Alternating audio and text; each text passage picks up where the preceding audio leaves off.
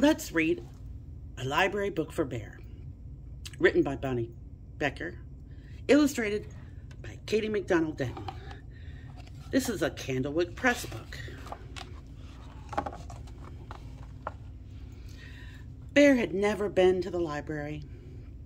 He had seven very nice books at home three about kings and queens, three about honeybees, and one about pickles.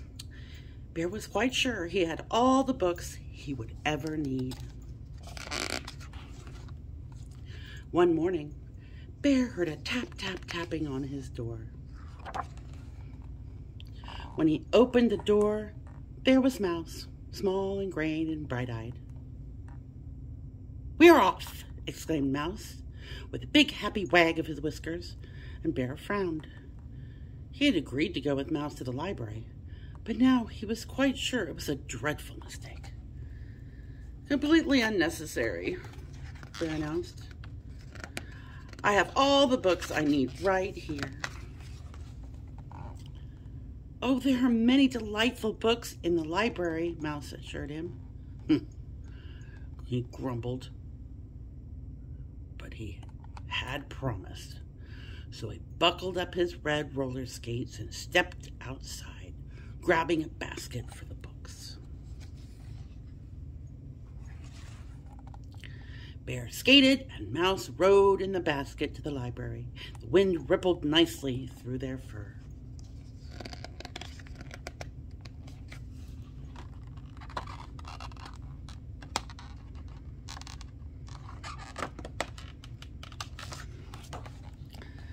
But when they got to the library, Bear didn't like how big it looked. There are far more many books in there, he protested. Most excessive. Oh no, it's quite exciting, Mouse said, leading Bear through the tall doors. In the library, there were more books than Bear had ever thought there could be, and he quickly found a tucked away corner.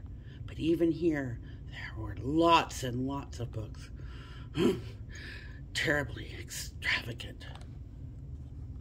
Bear's voice was a little loud. I should have found you the perfect one, Mouse said quietly in his library voice. What about pickles? demanded Bear, after all. He only had one of those. But Mouse had whisked away. Mouse came back with a thick green book, and Bear opened it. Rocket ships! Ridiculous.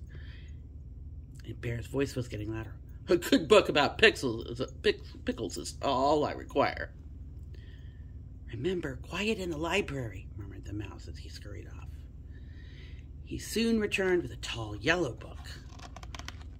I'm not interested in wooden canoes. Bear's voice was even louder. Quiet voices in the library, the mouse reminded him. My voice is always quiet, Bear shouted. And I will find my own book, and I will assure you that pickles are quite interesting. Mouse didn't look so sure.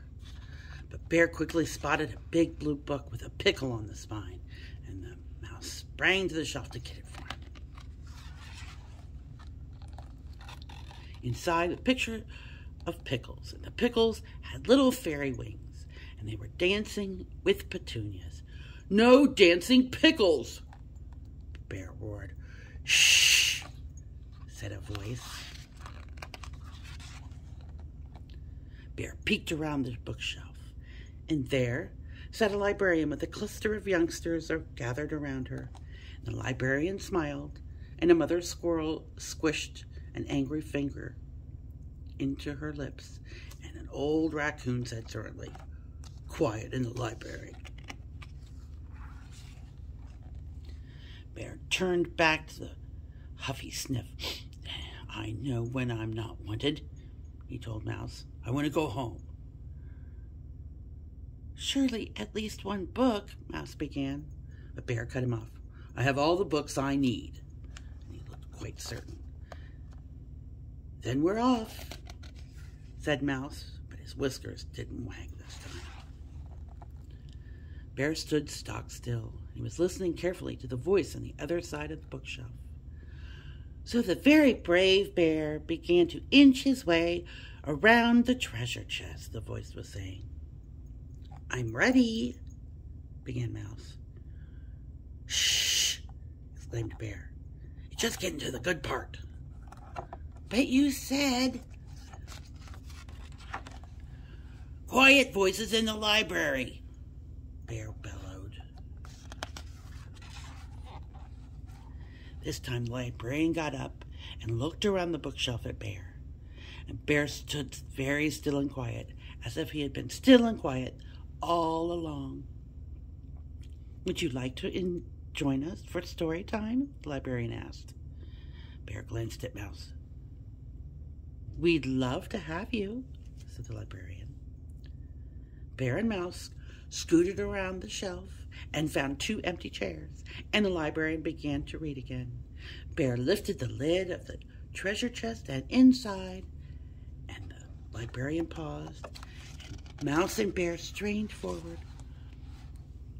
Inside was a mound of pickle slices, and each shining slice made more diamonds and gold. And everyone shouted, Hooray for the very brave bear! And then she said, The end. Bear stared dreamily at the into the space for a moment, and then he looked out over at the mouse and announced, "As I said, pickles are so are most interesting." Indeed, said, said Mouse. Later, Mouse Mouse rode in the basket with seven new books. There were two about wooden canoes, and two about rocket ships, and two about teapots.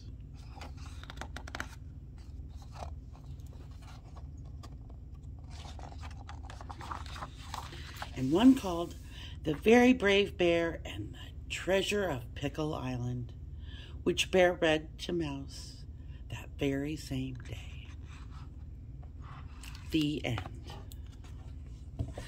We've been reading the library book for Bear, written by Bonney Becker, illustrated by Kady MacDonald Denton, and it's a Candlewood Press book.